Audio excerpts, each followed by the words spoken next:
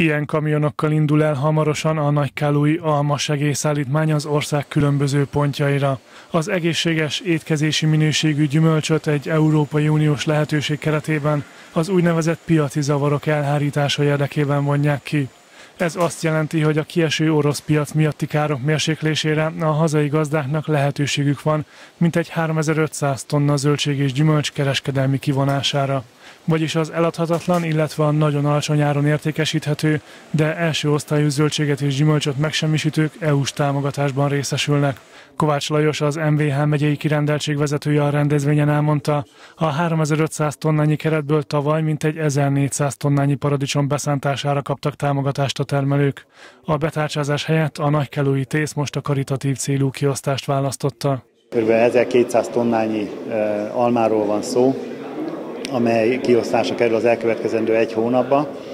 A lehetőség, illetve hát a jogszabályoknak megfelelően itt a karitatív tanács tagjai vesznek részt ennek az almamennyiségnek a kiosztásában. Az ügyvezető hozzátette, az uniós rendelet szabályozza, hogy mely szervezetek vehetnek részt a szétosztásban, az MVH és a NÉBIK pedig a csomagolást, a szállítást és a kiosztást is ellenőrzi.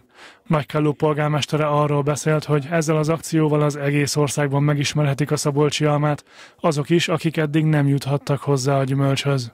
Az, hogy eljuthat, eljutatunk olyan emberekhez gyümölcsöt, almát, akik sajnos ezt nem tehetik meg minden nap, és közösen gondolkodva, egymás segítve tehetjük ezt meg, ez, ez is egy fontos üzenet.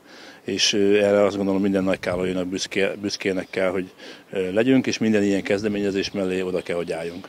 Juhász Zoltán elmondta, Nagykáló és térsége jelentős alma termelővidék. A városban megközelítőleg 30 nagyobb almához köthető vállalkozás működik, a gyümölcsösökben pedig több száz nagykálóit foglalkoztatnak.